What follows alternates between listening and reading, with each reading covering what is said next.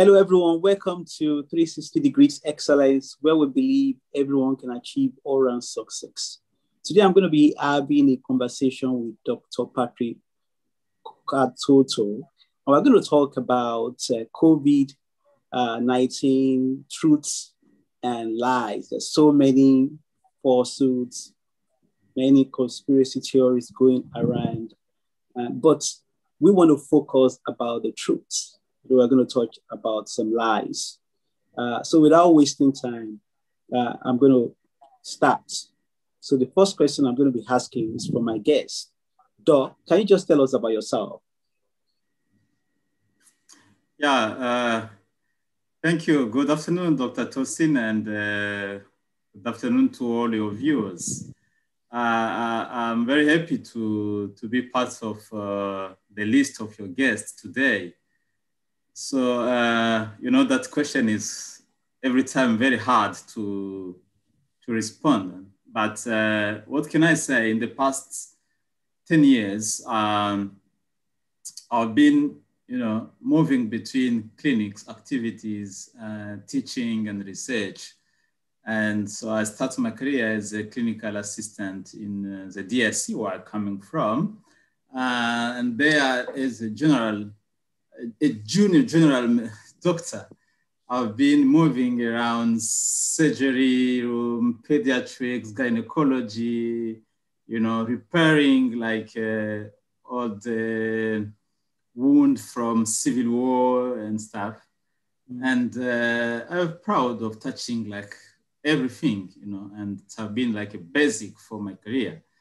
And uh, after that, I've been now fixed in one department, internal medicine, where we treat lung disease, uh, heart disease, infectious disease.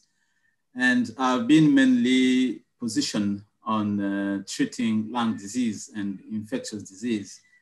And uh, my major achievement at that time was actually to be able to treat or to support the HIV clinics around my province and, uh, you know, to give advice. It was extraordinary to see how people, you know, a guy arriving in your office he doesn't know why he is losing the weight, 30 kilo, and, uh, you know, you diagnose him with uh, either HIV or both co-infection, HIV and TB, and then you give him just ARV antiretroviral uh, therapy and antituberculosis. After two years, you see the guy can, you know, mm. kind of resuscitated, starting life. And that was yeah. quite amazing to see how uh, arts treatment have changed life, uh, uh you know, and our view considering HIV. Uh, From there, I got a scholarship to go now to get some advanced studies in internal medicine. Uh, that was in Brussels. Uh, and there I was right in general internal medicine, but focusing on something that I didn't do in the DRC, and that was uh, hematology. Hematology, that is uh, disease, blood diseases. And where I touched something like uh, a bone marrow transplantation, and mm. it quite amazing to see how you can treat cancers, blood cancers and stuff. How you can even for some diseases like a sickle cell anemia, how you can achieve a success of treatment via transplantation. And that was quite amazing. And from there on, I actually met my boss there who was publishing like uh, every month, one, two, three papers and uh, I was with zero papers so far, and it was kind of motivation. What is going on? And uh, I tried actually uh, three drafts, but I never published them. It was very hard, very, very hard. and uh, at least I published one abstract mm. that have been accepted in the Congress, uh, mm-hmm. and uh, I was very proud of it. And you know, from there on, I decided to learn about researcher. And uh, I understand that you can't just come and say, okay, I am a researcher. You need to learn. yeah. at least the basic and the basic of such as methodology.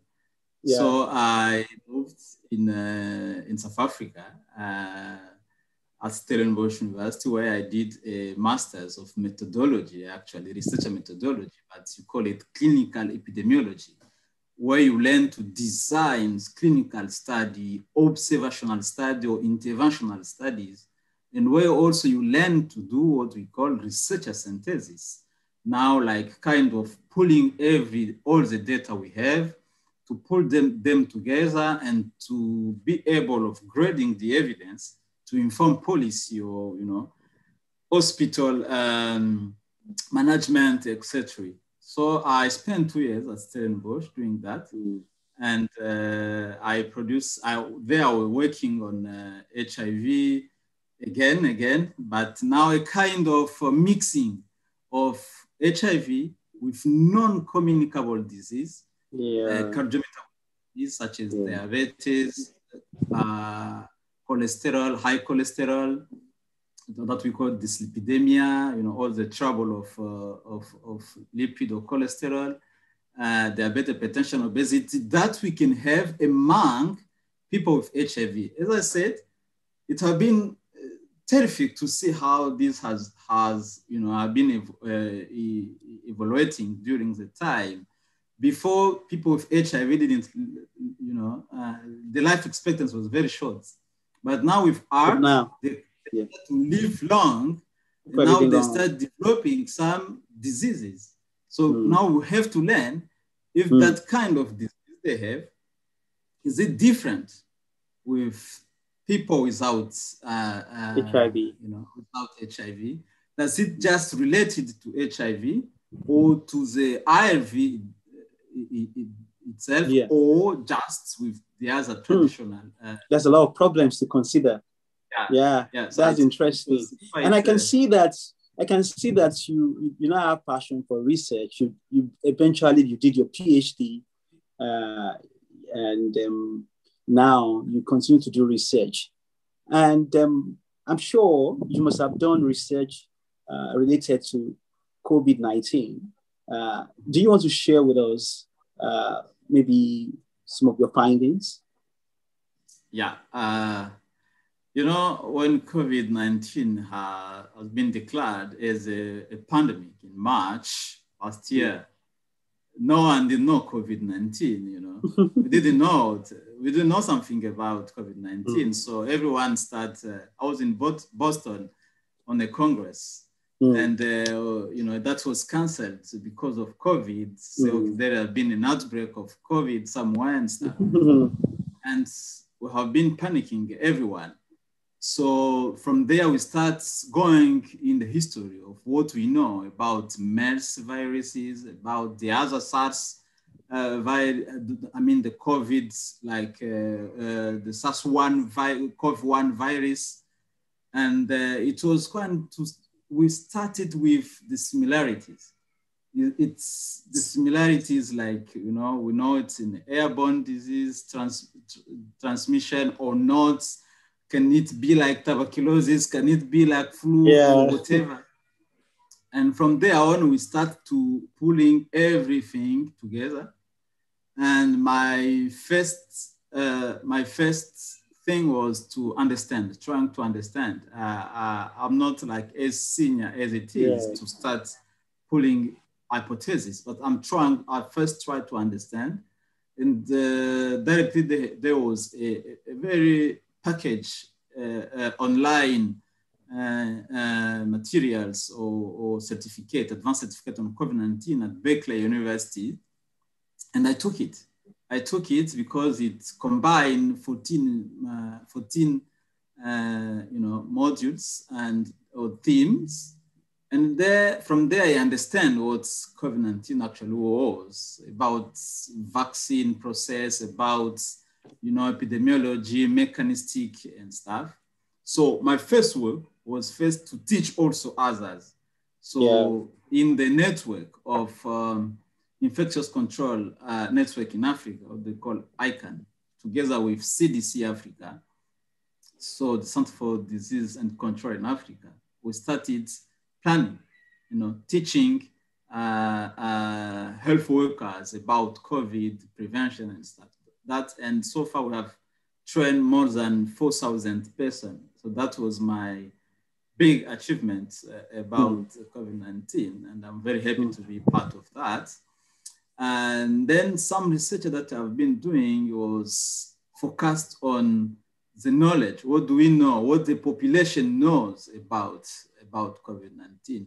So uh, okay. we did a lot of research, especially in the DRC, uh, and try to, you know, to advise some uh, political leaders about it. Yeah. What we found in those in those studies is that the population were not actually concerned about uh, about COVID nineteen itself, but they were concerned about, you know, uh, uh, economic insecurity.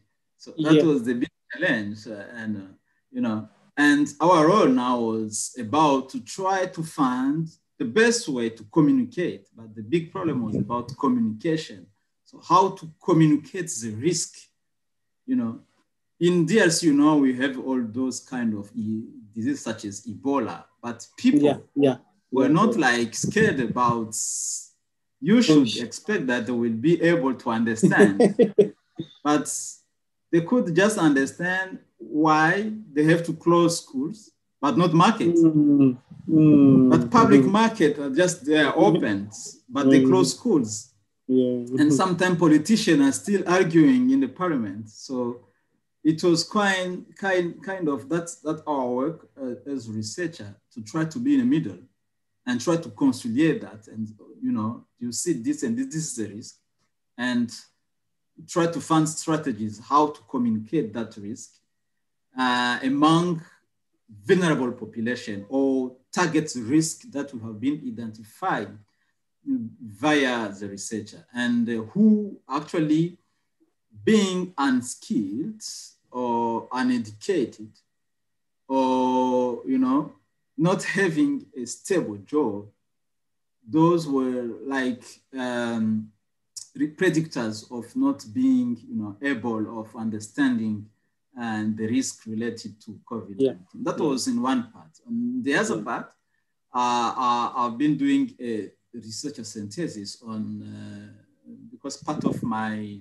study of my research interest is also to see how we connect, actually is to put the bridge between communicable disease and non-communicable disease and emerging risk factors such as air pollution yeah. And I am actually focusing in Africa, the kind of air pollution in Africa that we have is especially biomass fuel smoke. So uh, I was trying to see the link to summarize all the research so far that we have in a kind of systematic review and to see what do we know? How does uh, exposure to air pollution influence the epidemiology of COVID-19 worldwide.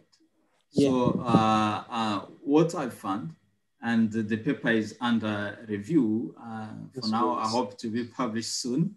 That's the great. First, That's the great. first comment was quite nice. And uh, okay. what we have found so far, we have like a, a hundred of hundred of studies that have been published mm. worldwide. Yeah but the quality is not very yeah. nice. Why? Because they have been using aggregated data. So individual level data, you know, were missing.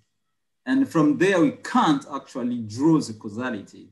So we, uh, the main recommendation, yes, we see there is kind of risk association between being exposed to pollution, like uh, biomass fuel smoke, uh, used for domestic energy, like, you know, diesel exposed, traffic related air pollution, all those increase the risk of air pollution, especially yeah. after being chronically exposed. But I will say that for now, the level of evidence is quite low. And uh, that's our major recommendation for the the, the public. So that, that was the second yeah. part of my research yeah. in COVID. And the last one is now to see how COVID-19 has impacted on other achievement that we have gained in Africa on health system. Yeah, yeah. So how does it impact utilization of other service, curative service in different countries? How does it impact on the treatment of tuberculosis? That is one example, like in Niger, we just published a paper uh, that it's quite uh, unbelievable that people, you know, that children, children didn't receive their uh, vaccination, you know, during like, I will say that the level of uh, um, vaccination did decrease. The rate of yeah. vaccination did decrease uh, on a hmm. spectacular rate, and that is very concerning for children. You know that the first cause of, of mortality in Africa for children, we have malaria, we have lung diseases, etc. Yeah. But if they don't receive vaccine, yeah, yeah, voila. If they don't receive uh, uh, vaccine for like uh, that vaccine that protect them for getting mm. severe mm. pneumonia, mm. You see what we will have more death even compared to that will that will, that we expect to be associated to yeah. COVID, knowing that children are quite, you know, are less likely to die with, uh, uh, from, with COVID, but they are more likely of dying with pneumonia. But we are losing that. So that is our call to say, okay, we have to work now with the commun- communities. You know, we have to work with the communities. If people are scared in many countries, can be in Europe, in America, or hmm. in hmm. Africa, people are scared to go to the health facilities.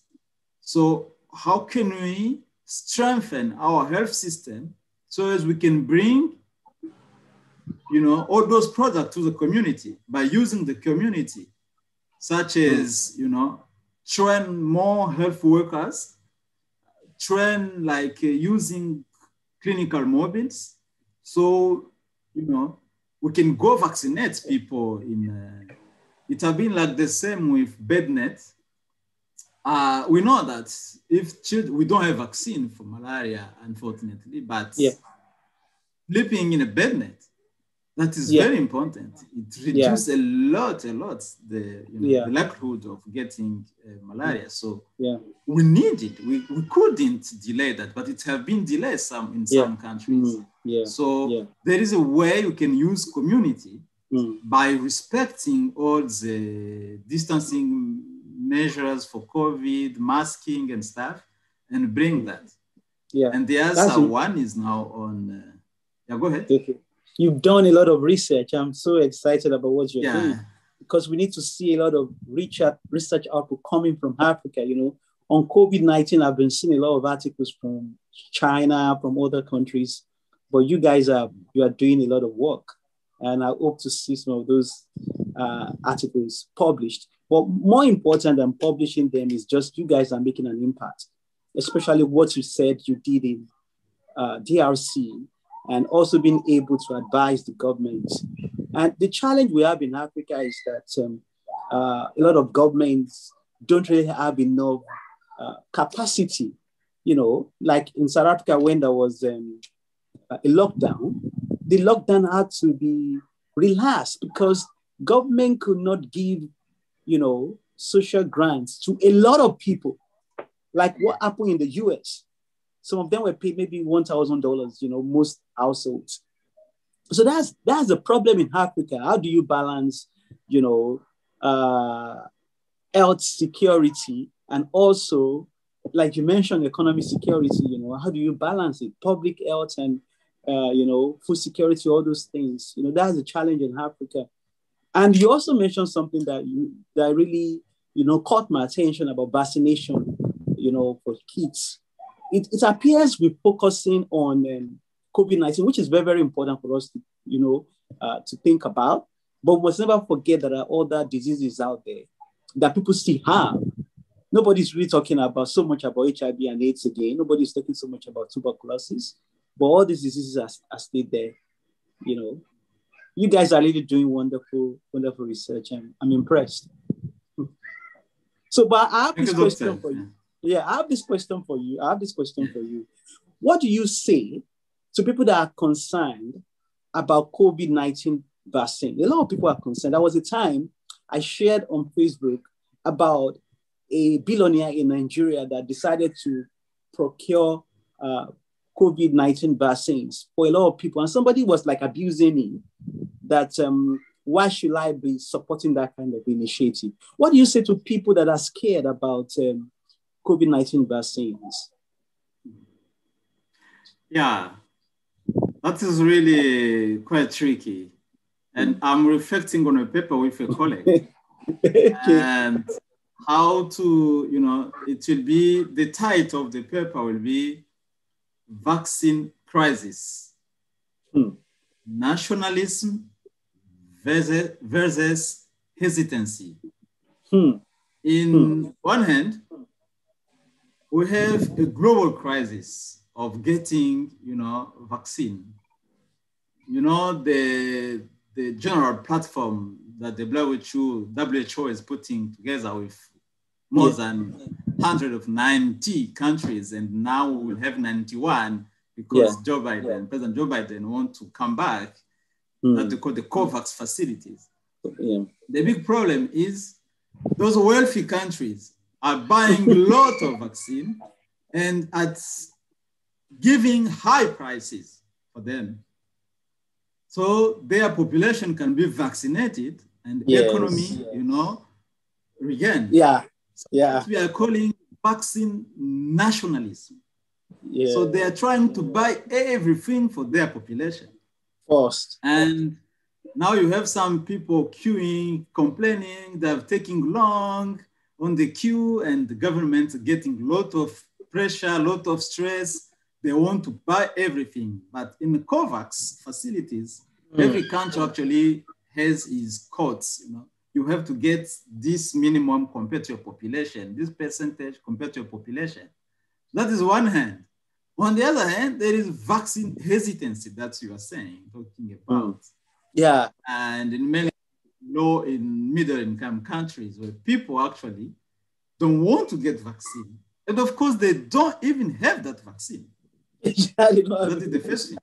They even don't have it. So yesterday there we have a meeting on uh, uh, at Columbia University where Dr. Tedros, uh, the DG, the Director General of the WHO, was again calling about, you know, compassion, how people should, those wealthy countries shouldn't buy all the vaccine available on the market. Like for now, half of vaccine produced are distributed, you know, in two countries, the US and hmm. UK. So what about others? Hmm. Look the struggle we have in South Africa.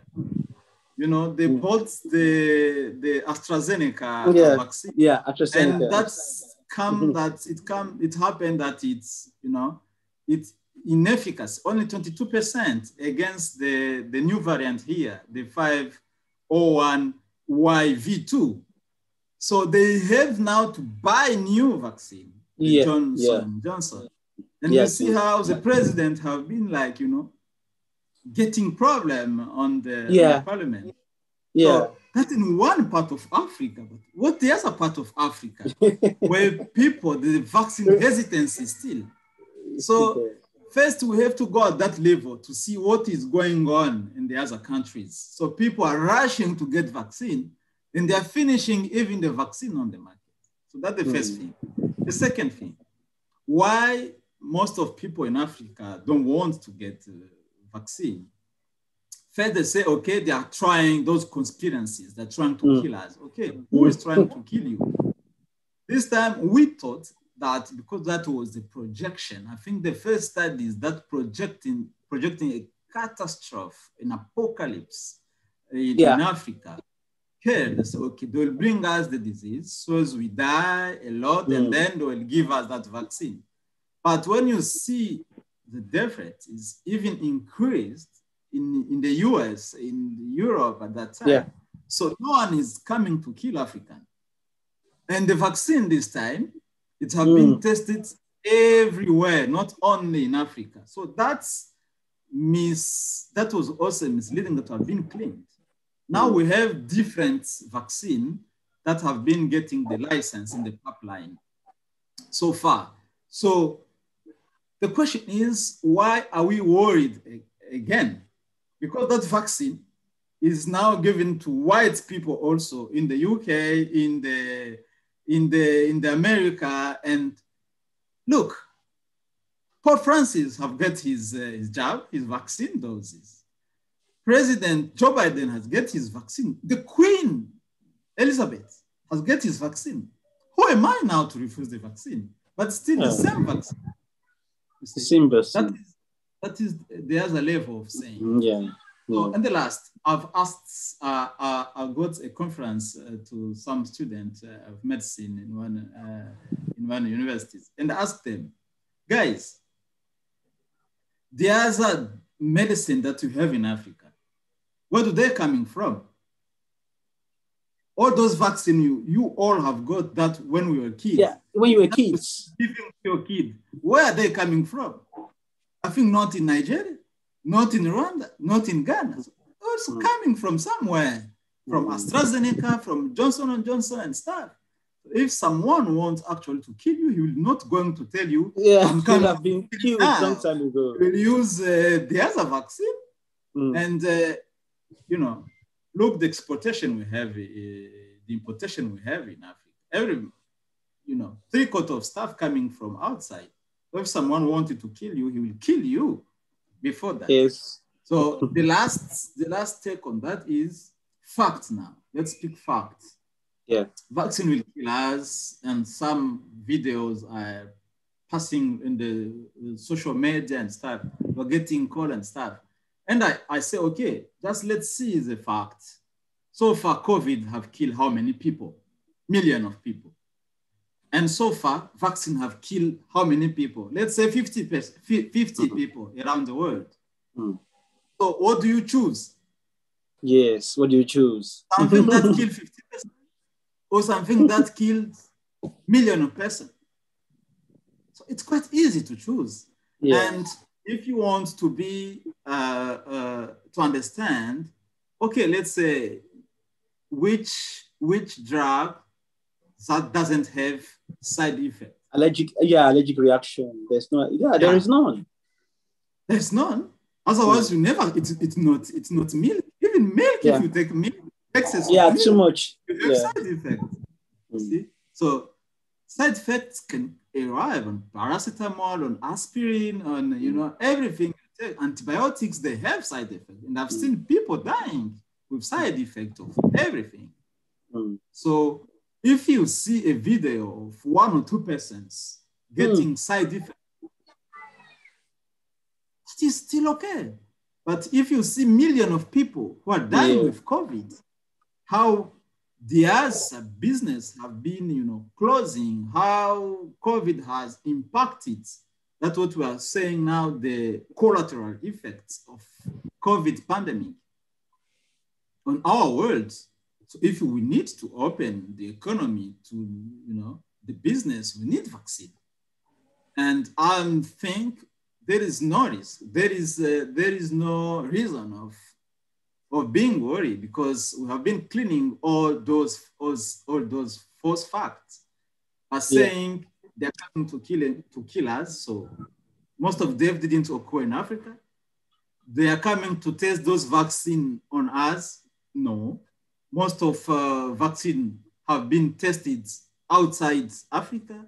They are going to give us all those vaccines. No? As a country, are even trying to buy those buy that them. have been reserved. and they have, yeah. they have started. Yeah. If you think that it's killing people, no, you have to compare. Look the facts. We have yeah. less than 50 who are, uh, you know, who has died with, uh, with vaccine, less. But you have to compare now people who have died with uh, COVID-19 everywhere. So uh, that's my take yeah. on that. And yeah, I, thanks so much. Thank, thanks so much for, for uh, throwing more light to that question. You know, very, very important for people to know that vaccine is okay. You should take it at the moment, it's not even available. Once it's available, please take the vaccine. We took vaccines in the past, you know, smallpox, measles, yellow fever. We've taken even poliomyelitis that has just been eradicated because of um, vaccination that was, you know, initiated by Bill Gates and Melinda uh, Foundation. You know, so vaccine is very very important. That's how we can really overcome this pandemic. But you see, the world did not prepare for this pandemic. Didn't prepare. It caught us unaware. And um, how can we prepare? I mean, do you have any advice how we can? Because another one is going to come, another pandemic is going to come as a result of another virus. You know, we remember what happened, the Spanish flu that happened about 100 years ago that really killed millions of people. So definitely there's going to be another pandemic that is coming. But how can we prevent, how can we or reduce the number of people that will die? I think, you know, that's my question now. Yeah, that's very critical. That's what we are calling global health. No one is safe until everyone is safe. Yeah. And in global health, we have a brand that we are calling global health security. Global health security, okay. In the global health security, we need to, we know, unfortunately or fortunately, we know all those microbes susceptible mm. of provoking, you know, outbreaks. Yellow fever, Lassa fever, yeah. Ebola, yeah. all this kind of SARS, with all this cholera and stuff we know this uh, antibiotics resistance, etc. Yeah, yeah. All those diseases that can cause global threats, from simple outbreak to epidemic and pandemic. So we need to prepare. How to prepare? The first thing is to know. But no one can, can prevent it himself. It needs to be a, a global. Right. That's where we need strong leaders, mm. starting from G7 mm. and the AU at continental level. So at the global level, we need that G7. It's, it's quite interesting how now the US is coming, is back. Yes, yeah, coming back. It's very, very, very important to see how they are working together. It's very important. That's one, mm. because those guys actually dictates uh, all the politics, especially by supporting the WHO. At the continental level in Africa, especially that AU, we need to have strong leaders who understand that can prevent also. And that's have been really, really missing for the AU component. The prevention. For now, they have now what they call CDC Africa. So the Center for Disease and Control Prevention of Africa. Now we have it, and leading by uh, a very good doctor from Nigeria, John Nkengasong. Very nice, and uh, we hope that will be uh, that is a very very first step for preventing yeah. those kind of disease of global threats. Now, from continental level, we have to we should have those CDC countries now. Mm. CDC mm. Nigeria, CDC Nigeria. We should have mm. CDC Morocco, CDC Niger, mm. CDC Djibouti, you know, that will be reporting to the CDC Africa. Mm. Who, unfortunately, the one who is supporting even the CDC Africa, money is coming from the US, from mm. the Euro, etc. So this is now, I think, the, the call for African leaders, you know, to invest in health. In many countries, you have like for health budgets less than uh, 3% in many countries, less than 5%. Hmm. Look, when we started with COVID, the first beginning, sample, blood sample should come, or let's say uh, the, the, the, not blood sample, but sample should come from, from Ethiopia to be tested in South Africa. Mm. Because we were not able to test that. Mm. If you use that sample in in Niger, in Niger, in, in Niger or in Egypt, to bring them in South Africa mm. because at least the the, the National Institute of, uh, you know communicable disease, the NICD, that have been empowered. So that's what we need. at national level to empower those labor- advanced laboratories for surveillance. And at national level, now we need to go at provincial level or local level in each country. Let's say you are in a province in, in DRC, in the east of DRC, 2,000 kilometers, you know, to reach the capital city in Kinshasa. But when the first case uh, occurs in, uh, in, in, in, that part of the country, you needed to bring sample to be analyzed, you know, at 2,000 kilometers. And for those diseases that uh, have a high fatality rate, when the feedback will come, the patient will be dead. Has died. You see, so this is a time uh, to bring all leaders, I think, for now. Yeah. I mean, science have been doing well so far. Scientists are aware, they know what to do, but they're not funded. So politics should stop a little bit on uh, you know, doing Yeah. only politics. But they should now try to build capacity to give all they need or to give scientists all they need. You know, our countries, they have, we have really very, very good scientists. You can find them everywhere. Nigeria, Nigerian researchers, Congolese, Senegalese, Yeah. Kenyan, everywhere. But except in Africa. Hmm. Why? Because you have knowledge, but researcher need money. You need money to do research. Absolutely. Yeah. yeah. You need money. Yeah. And I think it's time for African leaders to bring, to invest in researcher now, I think. Yeah, yeah, I agree. Research is very, very important. And you also made mention of um, Center for Disease Control and Prevention. It's very, very important for us to have uh, such centers in all African countries, reporting to to the one in um, AU and also AU uh, Center Lahastin with all the continental uh, centers. Very, very, very, very, important for people to work together because we've seen what has happened. It started from China and it's spread across all countries of the world. So we must we must work together.